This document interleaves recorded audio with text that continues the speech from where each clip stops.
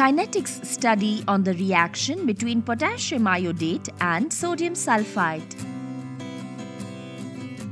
The rate of a chemical reaction may depend on the concentration of one or more reactants.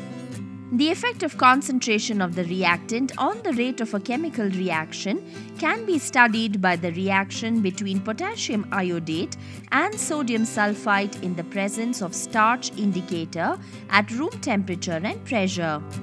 In the first step, sulfite ions react with potassium iodate producing iodide ions. In the second step, Iodide ions formed are oxidized to iodine by reaction with more iodate ions. In the third step, iodine formed in the second step reacts immediately with sulfite ions, forming iodide ions. When sulfite ions are completely consumed, the liberated iodine reacts with starch solution, giving a blue color. Our aim here is to study the reaction rate of the reaction between potassium iodate and sodium sulfite using starch solution as indicator. Materials required. 0.01 molar potassium iodate solution, 0.005 molar sodium sulfite solution, 1 molar sulfuric acid, freshly prepared starch solution, four 250 milliliters conical flasks, measuring cylinders and stopwatch.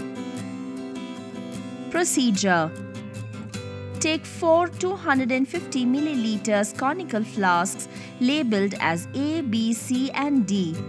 Measure 2 milliliters of 0.01 molar potassium iodate solution in a measuring cylinder and transfer it into flask A. Then add 4 milliliters of potassium iodate solution to flask B, 6 milliliters to flask C and 8 milliliters to flask D using the measuring cylinder. Using another measuring cylinder, add 10 milliliters of 1 molar sulfuric acid to the flasks A, B, C and D. Now, using a measuring cylinder, add 88 milliliters of distilled water to flask A, 86 milliliters to flask B, 84 milliliters to flask C and 82 milliliters to flask D to make the volume of solution 100 milliliters in each flask. Add 5 milliliters of starch solution to the flasks A, B, C and D using a measuring cylinder. Now, Measure 10 milliliters of 0.005 molar sodium sulfite solution in a measuring cylinder and pour it into flask A and start the stopwatch immediately. Stop the stopwatch when the blue color just appears and note down the time required for the appearance of blue color. Repeat the experiment by adding 10 milliliters of 0.005 molar sodium sulfite solution to flasks B, C and D and note the time required in each case for the blue color just appears. Record the observations in a tabular column.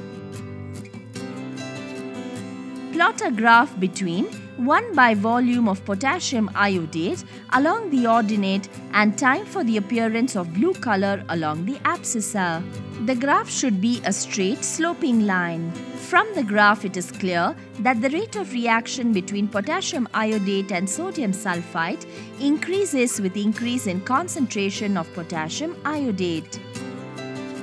Precautions Always use freshly prepared sodium sulfite solution because it is easily oxidized by air.